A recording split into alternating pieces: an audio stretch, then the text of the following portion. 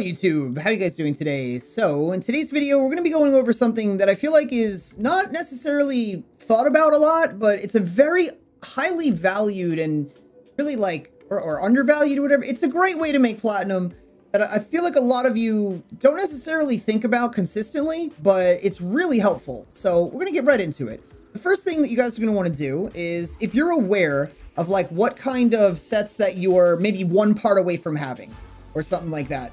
You're gonna look these up, right? You wanna verify and double check what it is that you have. So for me, let's go with Vauban because I'm pretty sure that there is a Vauban Prime that I'm missing a part for. Oh, so I got one. Okay, so I got Vauban Prime systems, right? But if I look at my other parts, if I had another seven of these, I would have eight Vauban Prime sets to sell.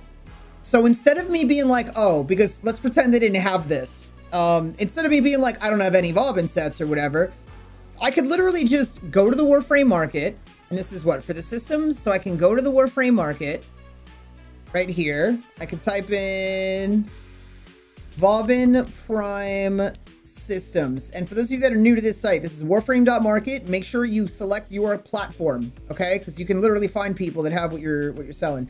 So Vauban Prime Systems, I'm gonna hit enter, and we'll scroll down, and I literally could get now a Vauban Prime Systems for 79 or 80 platinum, depending on if this person's actually here or not. But hopefully one of these three people are here, and then I could snag one for like 80 plat. And if I wind up doing that, then what am I looking at here? That means I can sell a Vauban set for 300, maybe even 350 in trade chat, depending on the day, depending on like how, uh, I guess like much I'm in trade chat. But what did that cost me? That cost me 80 plat. So if I sell a Vauban set for 300, I made 220 plat. If I sell it for 250, I made 270 plat or whatever, which isn't bad. Like it's it's kind of a decent way to, to milk a little bit more plat out of the things that you already have without having to go crazy and and thinking that you need to farm an entire set of something out. So it's definitely worth you guys like just checking what you have. Now Necros Prime, I literally I was missing a blueprint, so I just bought one. Now I have another Necro set left, and you guys can see literally one, two, and three. These are all just individuals. Once I get this set sold, uh, all I'll have left of Necros is like five, five of this part left. So at that point, is it worth it for you to go and buy the other parts out? Probably not. Just maybe if you want to actually do the research and you want to type in every Necro set here, uh, every Necros part here, and just kind of tally it up and see how much platinum you're making. If you're going to make 20 to 50 platinum off of buying all these parts individually at the hopes of selling it at a, a set price you have in your mind, I don't recommend doing that. But if you're very confident, like I know I can sell a Necro set for 350. I bought this blueprint just now for 67 plat.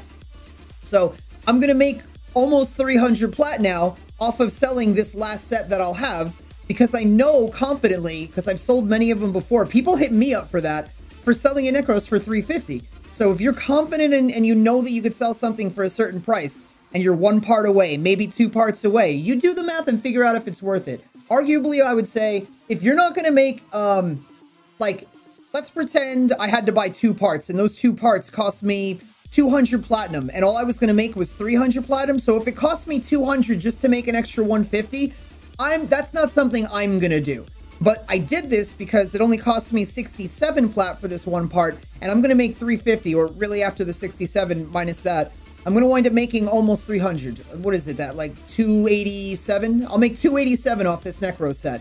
So at that point, spending 67 and making 287 additional plat, then I would say that's worth it. If you guys are going to make at least half back of whatever you spend to fill your sets up, then it's probably worth it for you to get into it and do something like that. So I feel like people really just kind of don't think about this a lot when they're like selling stuff in trade chat, but I really feel that it's something that's worth bringing to your attention because a lot of times you sit in trade chat and you're like, I don't have anything to sell or I'm really lost.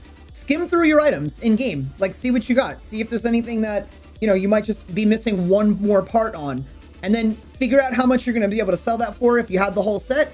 And then as long as you're going to make more than half of whatever you spend for that one or two parts, then I'd say go for it. It's a go. Green light, go.